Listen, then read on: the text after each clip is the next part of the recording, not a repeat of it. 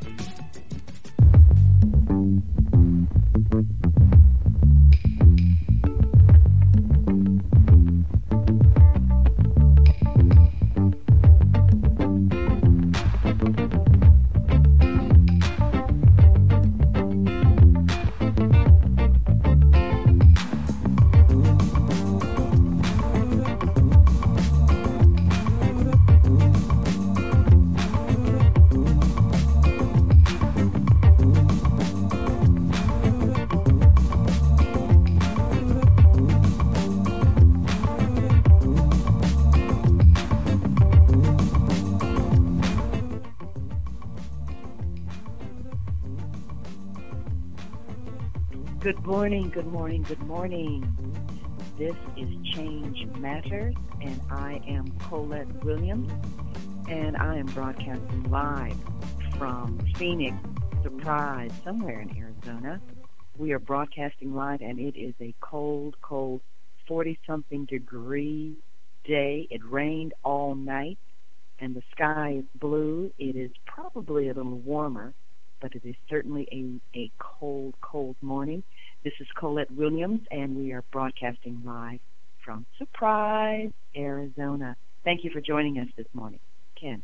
And this is Kenny Hendricks, and yes, we are remote here in Surprise, Arizona, and actually it's about 50 degrees. It's a beautiful day. Still cold. Today, Tuesday, Tuesday uh, January 24th, and we're going to have an exciting show as we always do. We thank you for joining us. And if you want to join us, and if you want to join the conversation, Colette, would you like to give those numbers out? Yes, the numbers are 866 510 9025. That's 866 510 9025. And you can also hit us up at Change Matters 99 at Gmail. That's Change Matters 99 at Gmail. The numbers to call in and join the conversation this morning are 866 510 9025. And thank you for joining us we do have a guest on. Things that he said about uh, Mr. Damion Square from San Francisco State University, Northern California, of course, and he is joining us this morning to talk about how the millennials feel about the state of Black America. And I'm not sure if he's on yet. I can't tell. I really can't. I can't see it. But we're glad that he is joining us, and he's got some views and news from the millennial perspective. And he actually came to us because he did call in um, several shows ago, and we were so intrigued by the things that he mentioned to us that we had to get him back here. We had to get him on, and we've got to keep in touch because this young man has a lot to say. He's an organizer at San Francisco State, and he is organizing a movement and he's going to talk to us about that movement. He's going to talk to us about uh, the millennials and, and the views of the millennials and the things that have been going on in the black community and what he and the rest of the organization are doing to change things that are going on in the black community and the area in which he lived. So we are glad that Damion Square is here with us, and he's going to tell us about himself. Damion, are you with us? Yes, I'm here. Great. Thank you very much, Mr. Damion Square. Damion, as we get started, why don't you tell us about yourself? I introduced you as a student from San Francisco State. So tell us from the beginning uh, about you, where you've come from, where you're going, the things that you're involved in. We would like to know, our audience would like to know. So let's start with that. Go ahead. All right. So my name is Damion Square. Um, I'm originally from Alabama, small town in Alabama called Smith Station. And uh, my mom had me when she was a teenager. And um, after she had me, she went into the military. And from there, you know, I was able to travel all around the world. I've lived in two different countries. I've lived in five different states within the United States, and uh, I do a lot of traveling throughout my life. But um, at the end of the day, I end up moving to California after my parents, after we moved back to um, the South. I moved to California to kind of get outside of my comfort zone, find out who I was, what I wanted, and what I'm truly truly capable of as a young black male. Um, so when I came up to California, I have some family that are from Oakland, that are from the this this the Bay Area, and I uh, moved in with a with an uncle and slept on his couch as I enrolled myself into college and I tried to figure out exactly what it is that I wanted to do with my life. And I found a college called Santa Rosa Junior College, and uh, un- unbeknownst to me at the time, Santa Rosa Junior College was the top three within the top three junior colleges in the entire country and I just happened to get luckily enrolled in that in that junior college. So that is where I cut my chops as like an activist, and that's where I mm. first started getting my activist roots. And it happened through a series of racially provoked events that I encountered as a student from teachers at the college. And um, you know, I don't really want to go into the detail of those particular incidents, but uh, just the incidents were so heightened that I almost got expelled from the school due to me challenging the teacher on the fact that uh, not only were they using the N word, but they were showing pictures that degraded, you know, black men and black women without giving the proper historical context to why you were showing those pictures in the first place. Uh, wow. So after that, after those series of events happened, happened, there was a there was an event at the at the junior college where former governor uh, Willie Brown came to the school. And Willie Brown, if you don't know him, he's a, uh, sure. former mayor, I think, of San Francisco. Uh, mm-hmm. at, at one point, African American man, real civil rights type of individual. Definitely did things to help out the black community. But anyway, he came to the school. He had a real powerful speech about uh, things that the black community needs to do. Uh, the Santa Rosa Junior College is a predominantly white school. Um, but when I seen when I saw him come to the school and he talked about these things that you know we as uh, black people need to be doing, I went up and asked him a question about the the prison industrial complex. Um, and he didn't give me a straightforward answer on that question. But the the surprising thing about that was it was a young gentleman that was in the back of the room who go who went to that same school, San Jose Junior College, and uh, he I guess saw something in the way that I answered asked the question, or he liked the way I asked the question, and he approached me about you know, hey, I'm really trying to start a black student union here at this school because uh, we don't have any representation. And I was like, we don't have any representation. And mind you, this is after the series of racial events. So, I'm, so me and him and this other young woman who goes to the University UC San Diego right now, we three came together and we started the first black student union at this junior college in over 10 years. So the, mm. there was no black student union at this junior college in over 10 years. Mind you, the biggest, one of the top junior colleges in the nation. Um, so we put together this this uh, black student union, and this was around 2013. 2013, we put together this black student union the following semester, and we really wanted to let that junior college know that hey, black students are here, we're organized, and we're about to show y'all, you know, what we're really about. So we put together this fundraiser to send five of us over to Tanzania, Africa, to build mm. a school for about 50 orphan Tanzania children. And um, in the process of doing that, we raised over $18,000 doing bake sales, writing up proposals, presenting those proposals to various businesses, churches in the community. Um, raised over $18,000, shattered every single uh, fundraising record for a student club in the entire state of California and became the first student club to use their own funds to send a group of their own peers to a third world country. Um, and the wow. Center of the Junior College got an accreditation through the work that we did. The, the school still stands in Arusha, Tanzania to this day. And, you know, over there we met, um, you know, Pete O'Neal and Charlotte O'Neal, both are um, Black Panthers Pete O'Neal in particular is a Black Panther who is an exile who can't come back to um, the United States of America. Right. But he has a compound in Tanzania that was given to him by a former president of Tanzania who recognized that he was a Panther in exile. And I, you know, back in that time, you know, Panthers had a a, a lot of clout.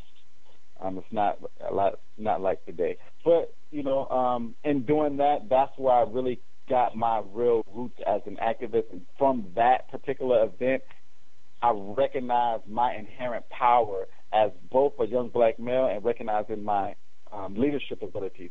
And to whom much is given, much is expected. So once I yeah, recognized my own inherent self worth, I had an obligation to to build on that and to focus on that.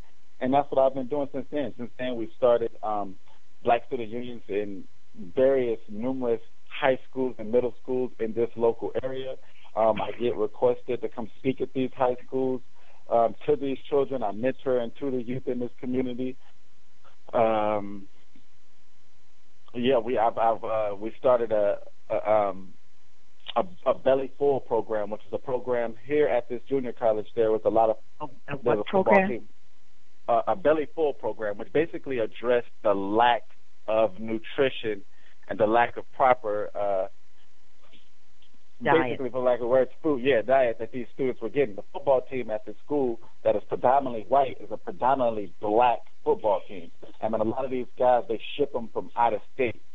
Um, so these guys between school, between you know work, practice, homework, they don't have time to adequately feed themselves because a lot of them don't even have jobs and things like that. So um, there was a story where we heard about like five or six of the football players pitching in 50 cents and a dollar to go across the street to get a $5 large pizza from Little Caesars before a football game. And this is what the football players were running off of, like sheer athleticism and garlic bread. So once I heard that, I was like, oh hell, hell no. So we um, put together we put together a fundraiser and we started raising funds to feed these football players, black and white and brown, um, to feed these football players before their home games and away games. Um, and it costs about three hundred dollars per game, and they got a game every week. So we fundraised that and um, fed them pasta and salad before every single game. Um, I, I don't want to say that the school was shamed by it, but the school was so proud of what we did, and to some extent shamed by it, that they kind of adopted that program, and now it's become a program that is called Belly Full that is now being kind of taken over by the college at large, and they're feeding not only athletes but all students. So it's something that the Black Student Union did that kind of recognized an inherent problem that the school had, and um, they jumped on that because they were getting a lot of negative press due to the fact that the Black Student Union was going out of their way to raise funds to feed hungry students on their campus. Um, and we do a lot of other various things throughout the community as well. So that's kind of everything that I'm doing and have been doing in a nutshell. Wow. So long, how long has it taken you to do all this? In what period of time have you done it? Because it sounds like you've done a great deal. So oh, how long? How long has it? What kind of time frame when you raise the money to go to to go to uh, Tanzania, when you raise the money, the Belly Full program, in what period of time is this over a period of what two, three, four, five, six years, or or what? Oh no, no, no, no, no. We raised the money to go to Tanzania in a single semester. We raised eighteen thousand. Oh, it was about a, a semester and a half because we started at the end the tail end of the previous semester, and we came into the other the new semester, which a semester is about four months, um, and we raised eighteen thousand dollars in four months, and we sit our we sit us over there in in, uh, in the fifth month. So from January from January to May, we fundraised, and in May we went to Tanzania. Um, as far as the um, the belly full and feeding the football players, we would fundraise on Mondays and Wednesdays, or we would fund. We would do bake sales on Tuesdays and Wednesdays at school, and then we would have our um, football dinners on Friday. So mm-hmm. each bake sale we would make about between 150 to 120 dollars, and then we will. Um, I got really good at writing proposals to various organizations within the school, SGA, uh, student equity, writing proposals to them to solicit money from them to give us money to help us put these dinners on. And it got to the point to where we were raising our own money to put these dinners on. It got to the point to where these various organizations, Student Government Association, Student Equity, these teacher bodies, they started to come to the Black Student Union, me as the president, to um, give us money, saying like we want to give you money to help you with this because they wanted to have their stamp on that program to say that yeah sure. we helped the Black Student Union do this. Mm-hmm. Um, so mm-hmm. the time frame was you know relatively small. Uh, for less than six months to raise the money to go to Tanzania, and a week. You know, it took us two or three days throughout the week to raise the money for the football games every uh, Friday. So, uh, Damion, this is uh, Kenny Hendricks.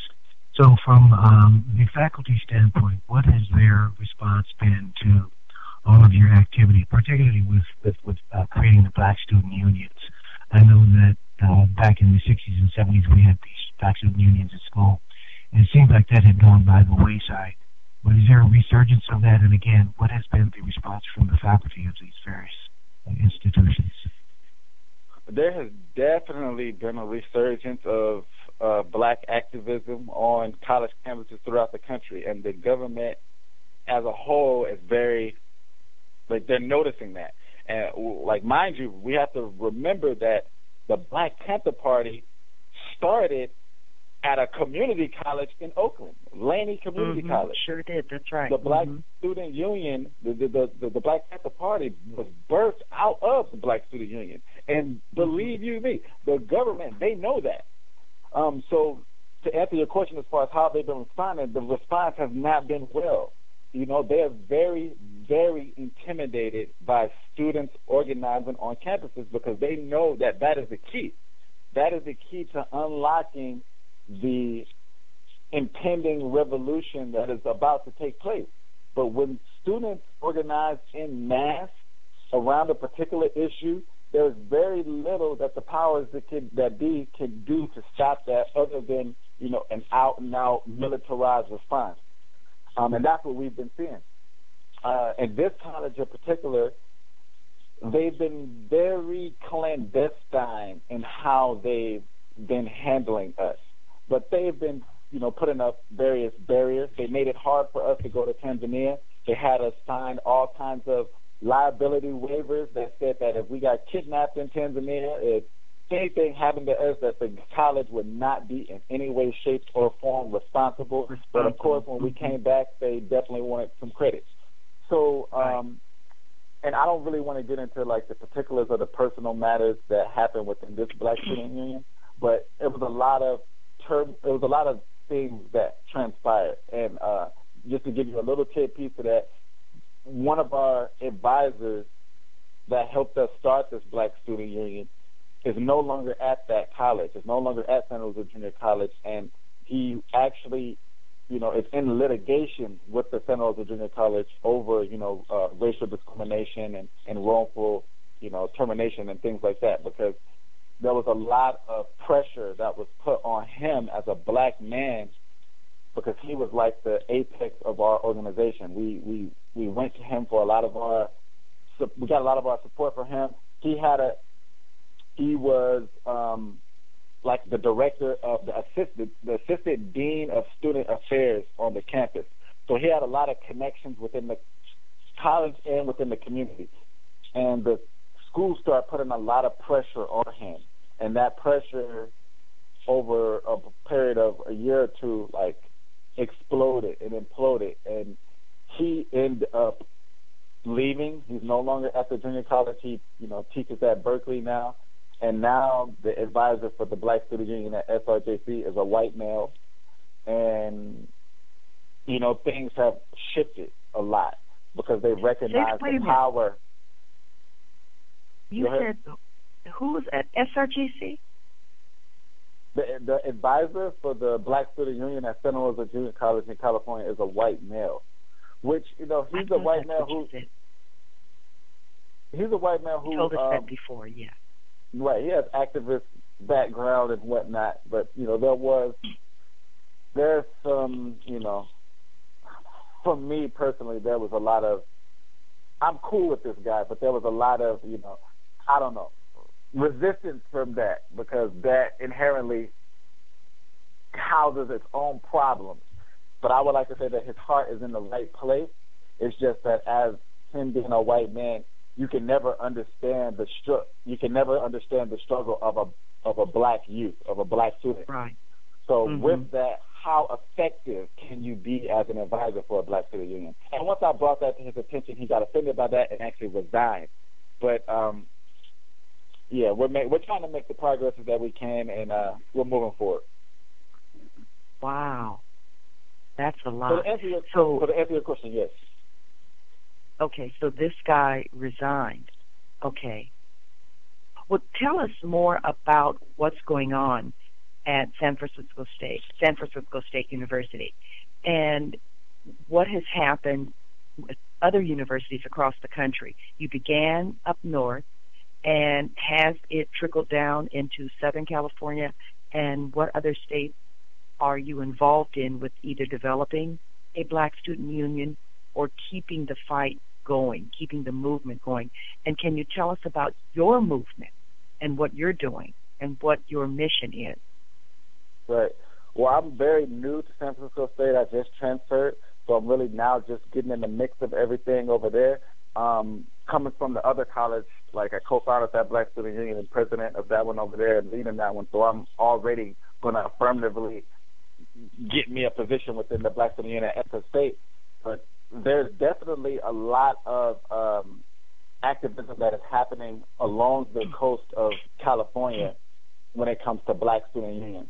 Um, there's something called the African Black Coalition, which is basically a large event that just took place in, oh man, um, it just took place in, I, I can't remember the city in Southern California, but actually uh, Dr. Boyce Watkins and Louis Louis Farrakhan Dr. Boyce actually Watkins? were the Dr. Boyce Watkins and Louis Farrakhan were both uh, keynote speakers at the African Black Coalition. And the African Black Coalition is a coalition of all of the black student unions from the UC campuses and the Cal State University campuses across the entire state of California. So uh, San Francisco State Black Student Union is there. Cal uh, UC Berkeley's Black Student Union there. Uh, UCLA's Black Student Union is there. Uh, um, Cal State Los Angeles Black Student Union is there. All of the Black Student Unions from all of the various CSUs and UCs go to this event, and it's a massive event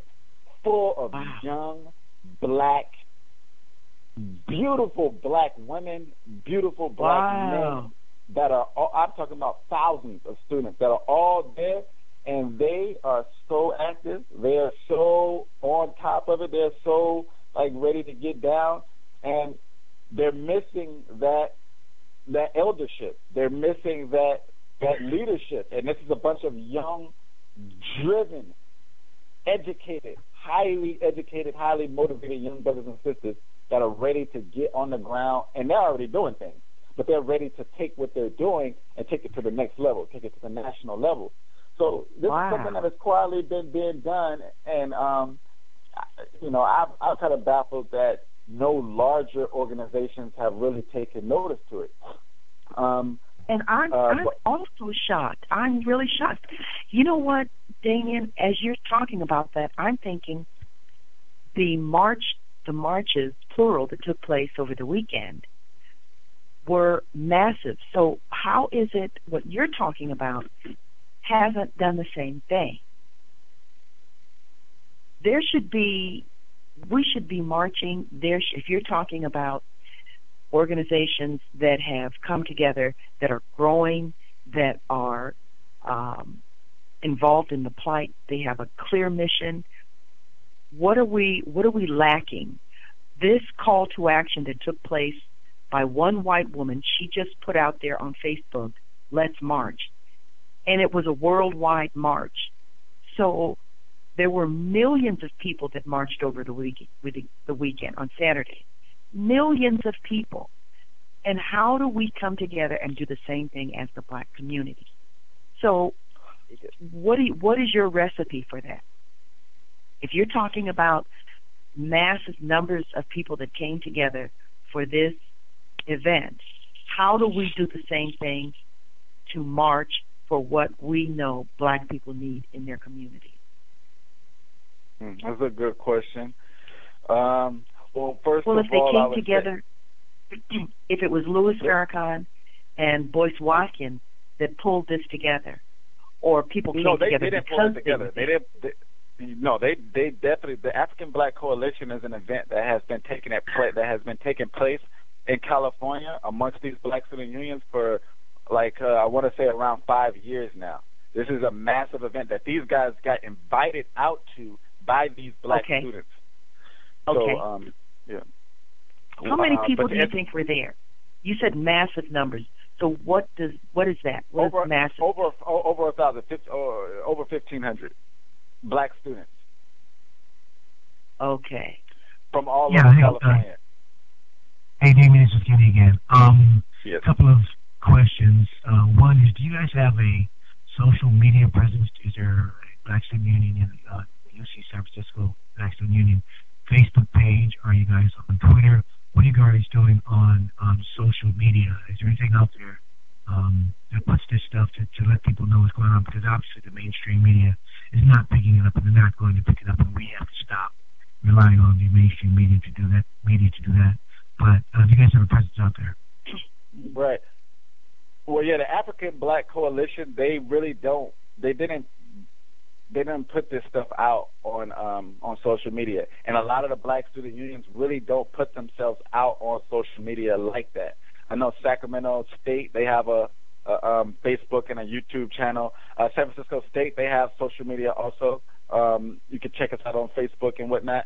Uh, but the social media platforms for these organizations aren't as thoroughly built as they should be. But right now, Uh-huh. that's not the focus. Right now, the focus is actually getting people organized on the ground and really doing things on the ground and not really being there to take pictures on social media to show everybody, hey, look what we're doing, look who we are. That's a different set of, of organizers that are participating in that. Um, And so there's a So, reason for that. Is that correct? yes, there's a reason for that. Okay.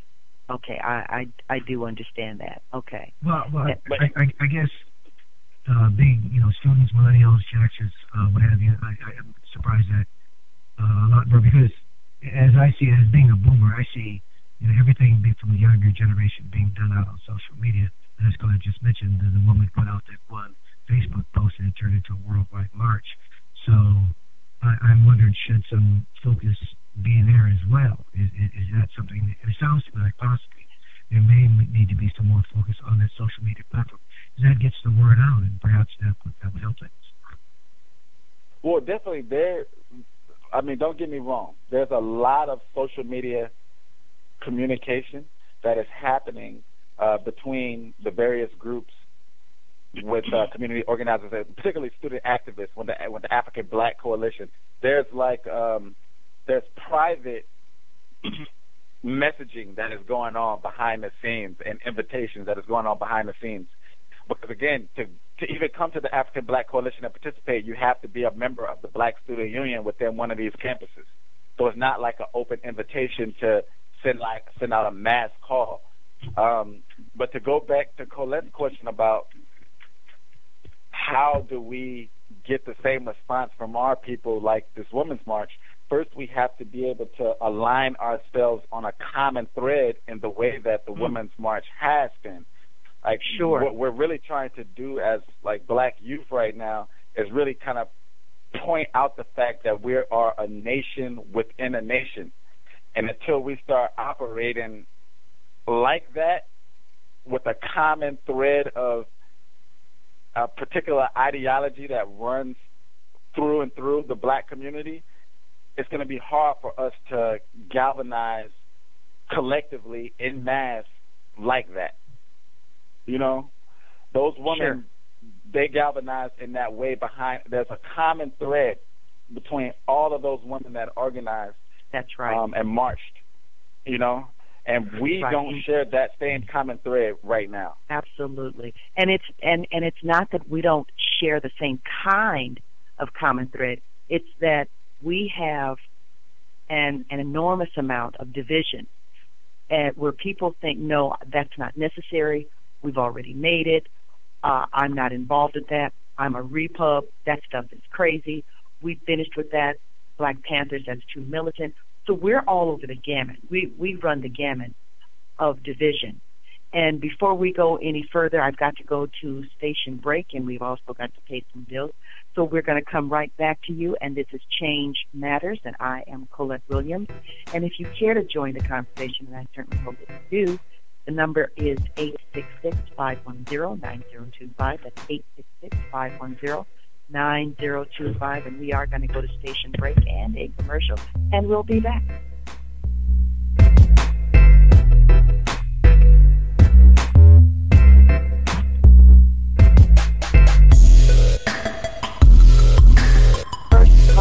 real estate and apartment locators are based in Dallas, Texas, serving all areas of the Dallas Metroplex, specializing in residential, commercial real estate, as well as apartment locating. We are your one-stop shop for all your real estate needs. Allow us to bring first-class real estate to your real estate needs. We have Why Fly Coach when you can fly first class. It's only the best. Your first-class real estate prof- professional Jocelyn Bagby at 682-888-8417. Be sure to call your real estate professional at First Class Real Estate, Jocelyn Bagby, at 682-888-8417. You are tuned in to the Black Talk Radio Network. For podcasts and live program scheduling, visit us on the web at blacktalkradionetwork.com.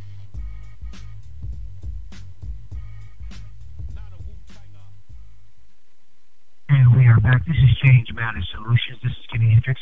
And this week we have Damion Square as our guest, a student from San Francisco University and an activist in the community. And we've got a lively conversation going on.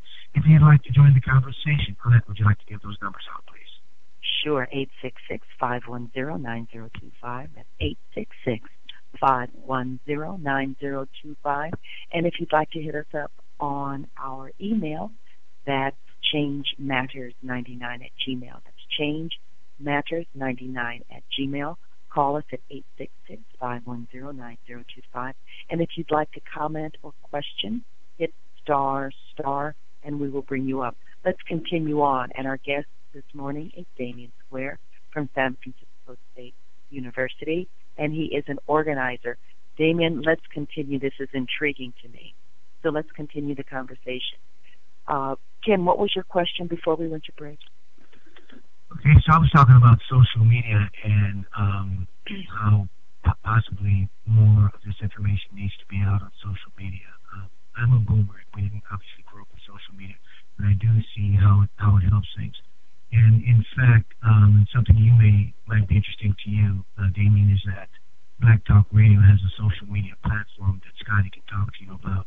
That that might be a way to get the message out as well. Um, and, and we were talking about the division within the black community. Maybe that's the reason that a lot of this information isn't out there. Right. Um, but but we need the, the information. I think you know some tremendous things, and I think it, it, it it's kind of um, kind of sad that more people don't know what's going on. We have to be responsible for getting that information out there. Um, I, I read a lot of things on Facebook, and people say, you know, why is the media showing this? Why is the media so that? You know, we, we, we should not be relying on them. We've got these vehicles to get that information out there, and we should use them. And this is not a criticism by any stretch of the imagination, Damion. I just want to talk this through. So, um, you know, just just as a thought, maybe some additional uh, social media type information might uh, be uh, some help to getting the, the message out. Damion, is there hesitation, resistance, uh, some uncertainty about taking this to social media because it exposes so much of you and it lets the masses know about things that uh, might bring harm or what's the idea? And I do remember when we were in high school, uh, junior high school, uh, I remember wiretaps. I remember our phone was tapped. There was no question whatsoever as to whether or not our home phone, 6819204, boy, that was 60 years ago, 6819204. I know that that phone was tapped. I know that. And we had so much activity going on at my mother's home that I'm sure it was thought that we were uh, a huge part of the organization. We were, but we weren't. But I know that that number was tapped and they were listening in. We know that for a fact. So, do you have the very same kind of uh, fear and discomfort and uncertainty? Do you have that?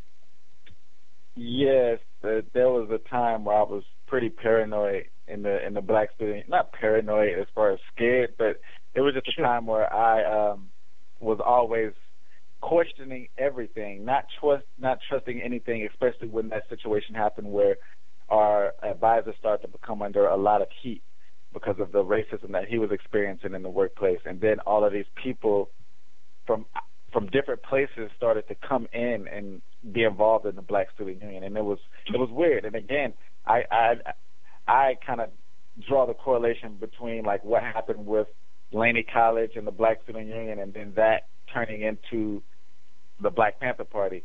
And uh, I'm pretty sure a lot of our listeners know about COINTELPRO, the domestic, the covert domestic terrorism program that was started by the United States government, i.e., the FBI, with the main goal of you know breaking apart, dismantling, discrediting uh, black organizations to prevent the rise of the next black messiah. So they are paying very, very close attention to college campuses. And that definitely plays a role in to why a lot of this stuff is not getting out. But I think another part of that is that a lot of these students are very young, you know, 18, 19, 20, and they're coming into their their activist their activist self, their activist roots and whatnot. They're finding their lane within that. And a lot of these students, they're, they're way more focused on actually doing things than showing everybody else, look, this is what we're doing. And student clubs, black student unions on campuses, they're different than like outside organizations like uh, New Era Detroit or Malcolm X Grassroots Movement or Young Gifted and Black, where those are like independent organizations, and you know it's much more important for them to have social media platforms as to where like black student unions within the University California college system, we can communicate with each other like using our platforms that are on social media without really getting out there. So if you would ask most black student union members like how are we like most of them would say that we're communicating very well we're communicating very well amongst each other. And there's not a lot of concern right now to get that out because we're still organ we're still trying to find out what the what, what the real common thread between all of our various sure. Organizations are because um, a lot of us have a lot of different opinions as far as like what Obama did you know who wants to negotiate with Trump who wants to protest against Trump you got the homosexual community the transgender community and there's a lot of you know there's a lot of uh, differing politics so we're really trying to find out how we can coalesce and form these powerful coalitions, hence the African Black Coalition. And we have a call. We have a question from a caller. Caller, are you there? Good morning. Yes, I am. Good morning, my King Kenny, uh, my Queen Colette, and uh, my King Damion. Uh, thank you for having this gentleman on this morning. Wow. Thank you for being with us, uh, just, uh, Whoa.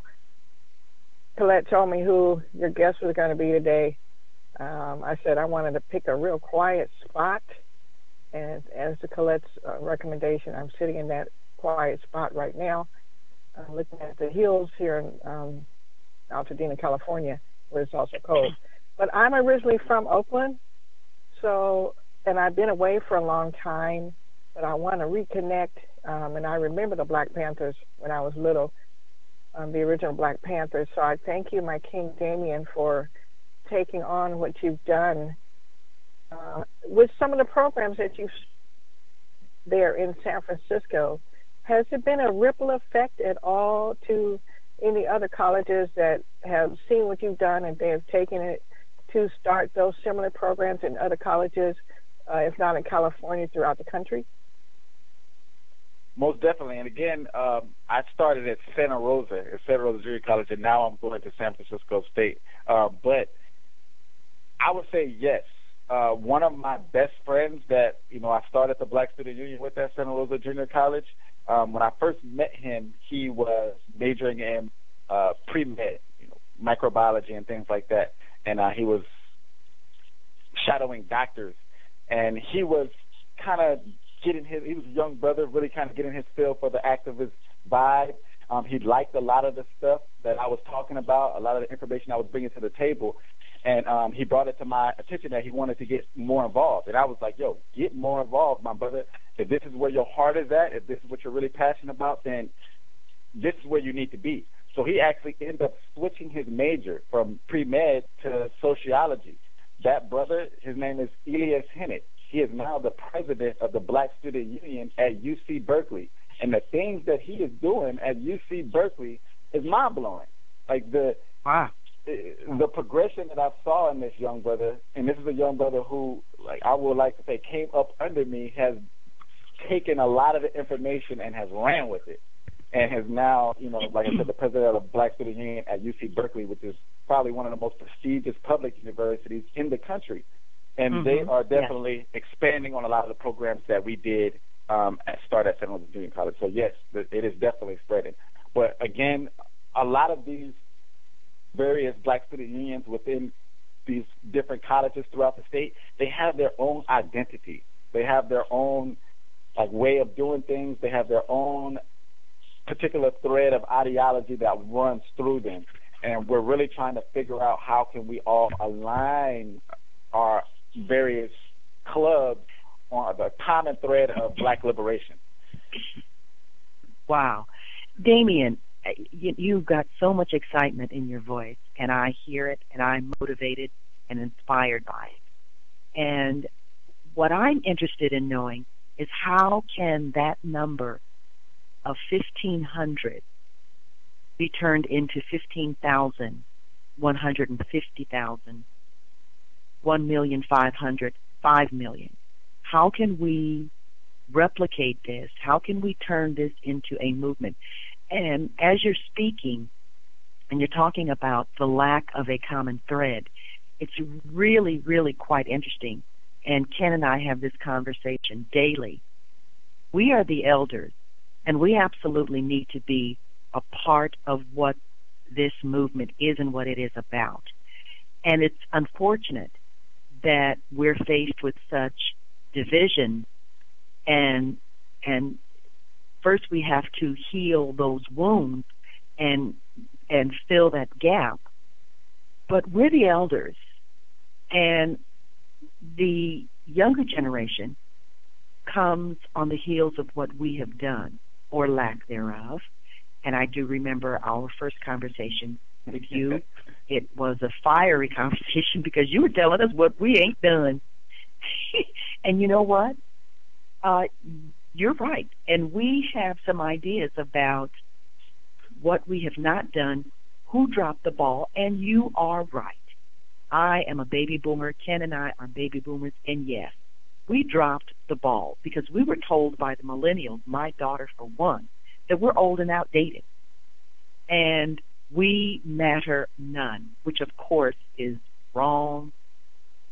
However, we've not done what we were supposed to do. So what you're doing should have been done a long time ago, and we've got to keep it moving. Keep it moving. We've got to build upon this. And 1,500 people at the coalition. This woman who went on Facebook had massive numbers. The numbers are still coming in. I'm sure there were 5 million people worldwide that marched on Saturday. Cities all over the country. Come on, folks. Come on. And it takes you, Damion Square, a millennial, to pull this together and say, we've got to create a common thread. We have to create a common mission. We have to create a common reason why. We have to create a set of values that says we all need to do this and bring this together for us. We cannot wait for them to do it for us or to tell us when to do it or to give us permission to do it. We've got to do it for ourselves. And before I get on my regular soapbox, Damion, go ahead. continue. Tell us more. So I was, was going to just answer your question and say that um, when you really think about it, it's it's overwhelming of like what can we do to kind of get ourselves up to that speed. But I would say it really you want to first think about what can you do as an individual. individual. What can mm-hmm. I do individually to change things in my community?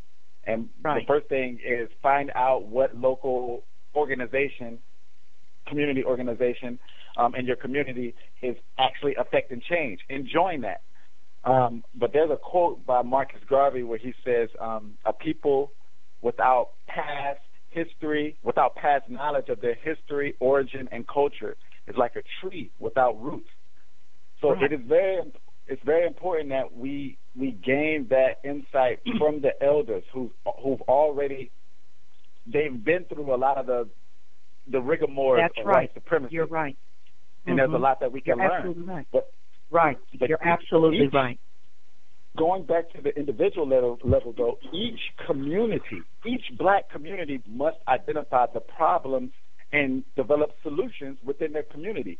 And the stakeholders with the stakeholders that are within that community must prioritize and direct local and state resources to that community. Um, on a larger level, federal resources must strategically be allocated so that local communities can solve the problems that are specific to them. And this is where we start getting into the, the situation with Donald Trump and people saying that that's not my president. And, you know, but like, the fact of the matter is he is the president. And please, we please, would be wait, wait, wait, wait, wait, David, David, David, David, please don't say that. Please don't say that, Damon. Oh gosh. But the, the, I understand, I understand. But the, the fact of the matter is, he is the president, and we would be fools Damon, if we Damon, did not. I haven't had breakfast yet. Uh, please, you're you're nauseating me. I have not had breakfast yet. You're nauseating. But look, this is this is and this is a part. I, I understand the comedy, what you're saying, but it ain't comedy. It's real. I know, but this that is ain't part, comedy. Is, that is real. That is a part of the huge problem of why we're in the situation that we're in. Because we mm-hmm. the older generation the civil rights they didn't want to face their fears. And now you and I and I don't want to be any dis I don't want to be disrespectful and say because they did you face your fears when you go into a restaurant and get busted upside the head with a billy club you know when you know that they said you weren't supposed to be in there. But when they convinced us to close down our schools, to convince us to close down our businesses, convince us to close down our banks, integrate with them, and convincing us that us integrating with them would be better for us as a collective. Like the civil rights generation failed us in that way because the true battle was to be fought right then and there. There was a lot more blood that needed to be shed to liberate black people from the clutches of white supremacy.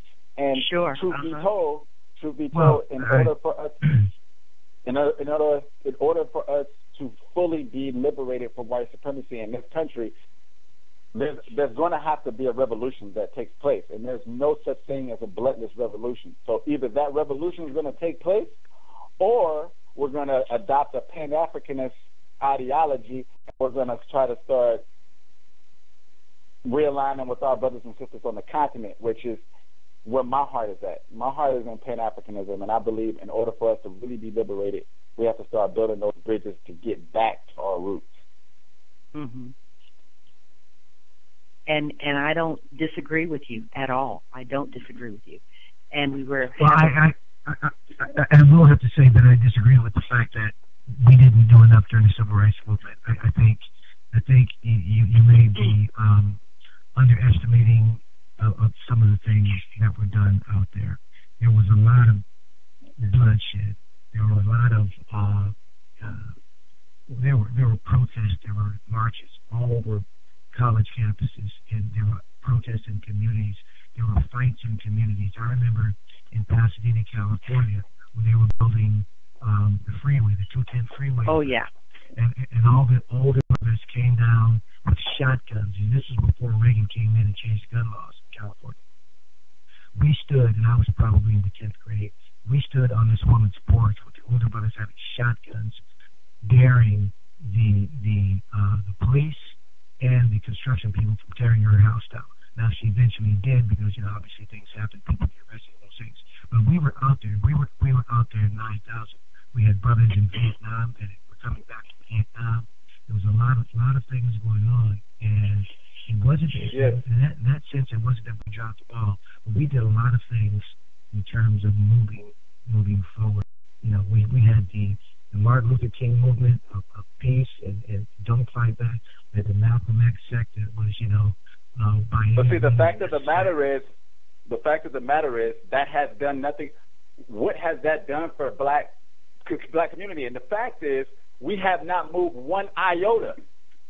That the, those changes were illusions. Those were the illusion of inclusion. Just because we are able to go to the same restaurant as white people, right. just because we're able to go to the same uh, uh, hotel as them, mm-hmm. we're equal. No, the fact is, in 1865, during the Emancipation Proclamation, African Americans as a whole owned less than one half of one percent of this nation's entire wealth.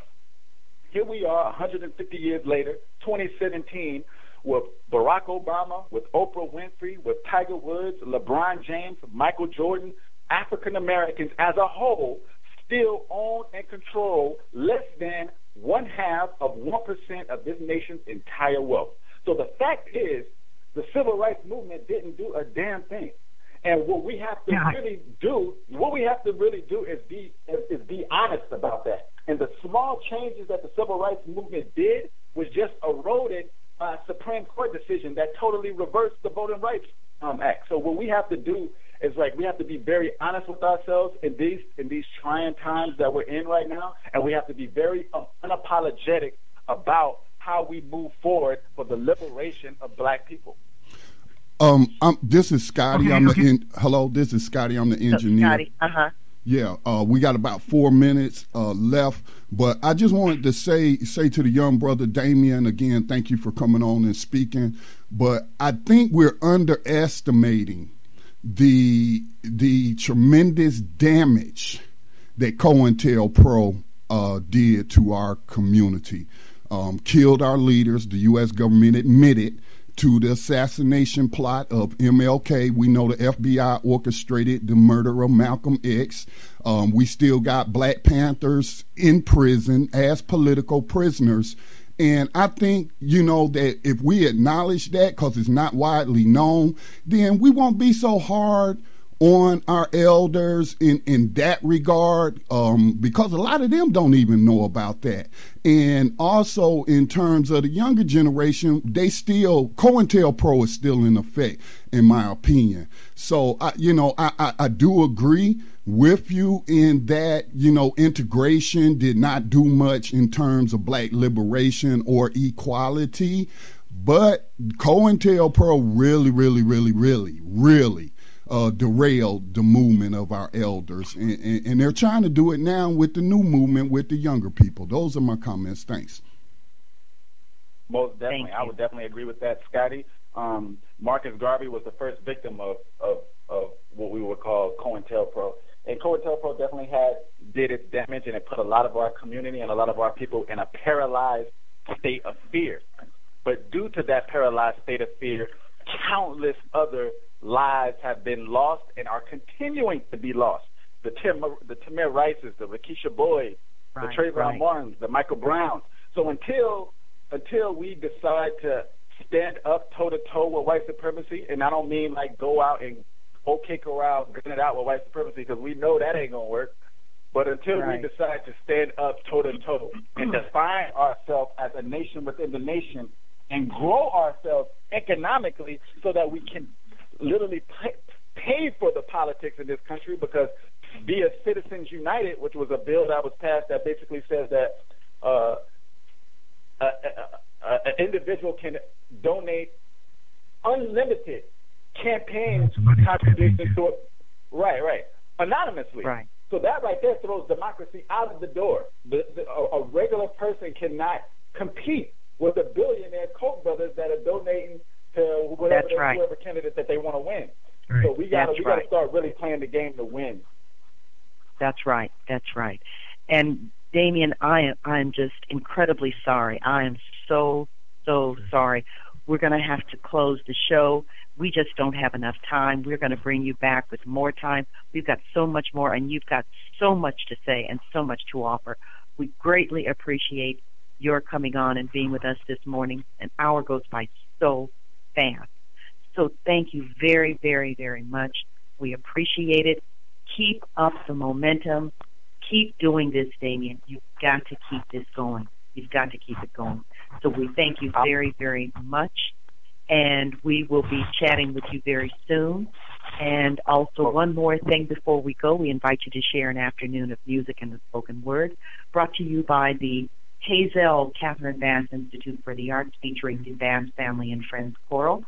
Lois Edwards and Dr. Ruth Bass Green are directing on Sunday afternoon, January 29th, 2017 at 3.30 p.m. at the Christ Temple Church of Christ Holiness USA at 3125 West 54th Street in LA, where Bishop Emery Lindsay is pastor. The admission is free, and for more information, please contact Connie Bass at 626 529 3986. 3986. And remember, that's an afternoon of music and the spoken word brought to you by the Hazel Catherine Bass Institute for the Arts. And again, thank you, Damion Square. Thank you for being with us, and we will hear from you and speak with you again. Take care, everyone. Signing off. Signing. Thank you.